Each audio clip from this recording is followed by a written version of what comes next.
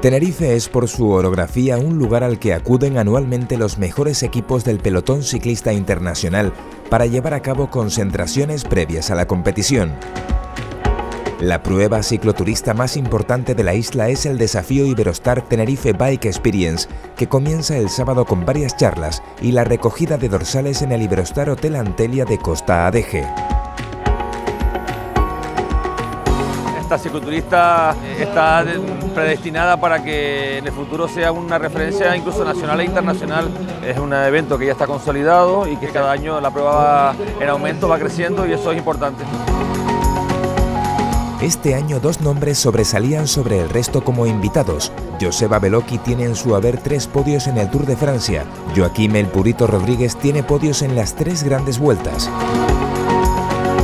cuando me llamaron para hacer esta marcha no dudé porque también tenía ganas de volver a disfrutar de la isla, del Teide y nos salió un día estupendo, una organización magnífica, así que muy contento.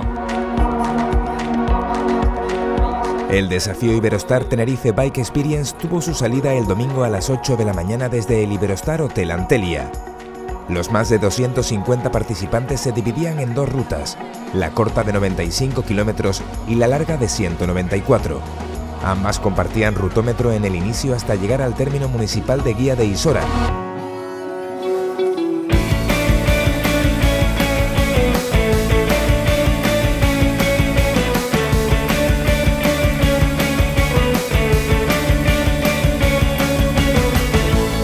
Bueno, pues ha sido una edición novedosa porque se han hecho dos distancias, una corta que es una prueba cicloturista propiamente dicha y una larga que es, la primera ciclodeportiva que se hace aquí en Tenerife. Eh, la organización está formada por el Club Fortín de Adeje, por el área de deportes del Cabildo de Tenerife y por la Federación Insular de Ciclismo de Tenerife.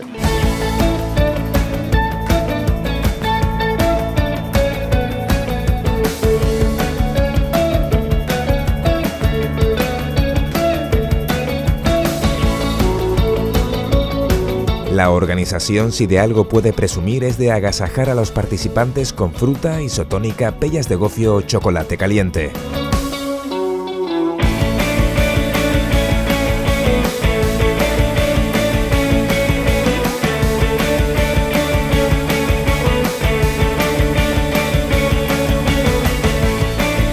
Bueno, yo conocía el Teide, no así en bicicleta, así a nivel turístico, creo que conozco bastante bien la, bien la isla, no sé si se han alineado todos los astros o qué, pero tener un día claro, un día de prácticamente nada, nada de, viento, hemos podido rodar bien en grupo, sin mucho tráfico, sin muchas motos, bueno, yo creo que se han alineado tantas, tantas cosas que, creo que nos ha hecho todavía disfrutar mucho, mucho más. Y hemos podido ver el resto de las islas, de las islas desde arriba, yo creo que mejor imposible. Daban ganas de quedarse arriba, ¿eh? La verdad es que sí, sí.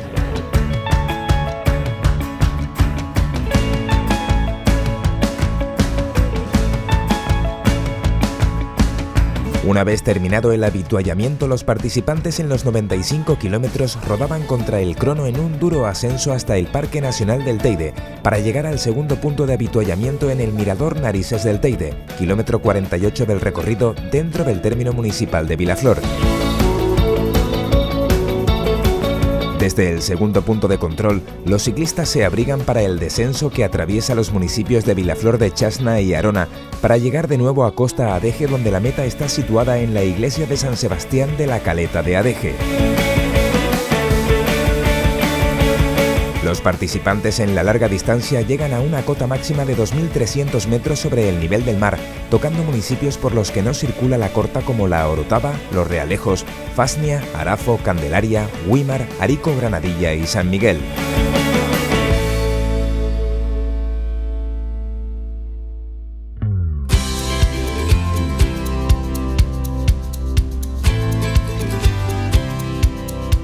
Sergio Papa marcó el mejor crono finalizando el ascenso en 1 hora 11 minutos y 46 segundos. Samuel Pérez marcaría el segundo mejor tiempo y Ernesto García el tercero. La gomera Erika Herrera haría el mejor tiempo en féminas, seguida de la francesa Violette Mondori y Ana Iriondo.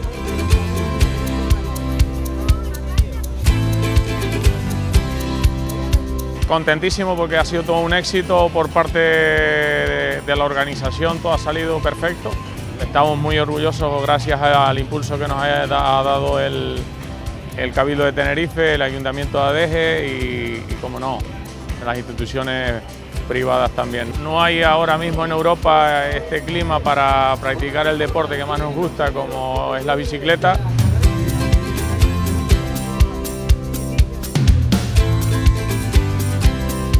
La meta para los que optan por el desafío largo está situada en la recta del Siam Mall, en el término municipal de Adeje, para luego unirse en el fin de fiesta de la caleta al resto de participantes.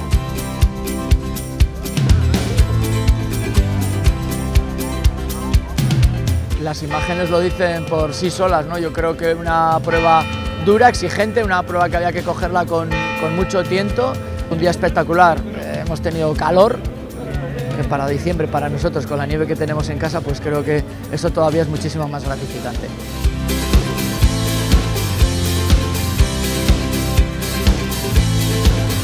En la versión de 194 kilómetros, Christopher Santana del Bicronos fue el primero en completar el recorrido en 5 horas y 49 minutos, siendo el único en bajar de las 6 horas. Christophe Spuke llegó en segundo lugar y José Ramón Álvarez fue tercero. Maider Insausti, Isabel Castro, Dolores Millán y Lena Verderson fueron las cuatro únicas mujeres que completaron la ruta larga.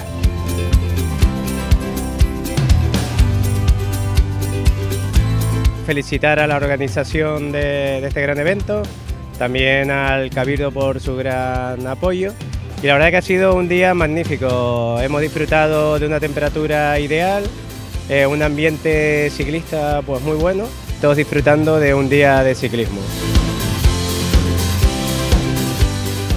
Nos encontramos en el municipio de Adeje, donde ha sido eh, la salida y la meta, o está siendo la meta de las pruebas, eh, tanto la larga como la corta, de la Tenerife Bike Experience este año, 2017. Eh, pues ha sido un día bastante intenso, sobre todo por el voluntariado que ha estado antes, durante y después de la prueba para que todo saliera bien, a los deportistas que han elegido nuestra isla con un clima fantástico que hemos tenido hoy y sobre todo no solo el tema de que estén aquí para, como referentes de nuestros niños y nuestras niñas que están comenzando ahora, sino también para la difusión de Tenerife fuera de Canarias.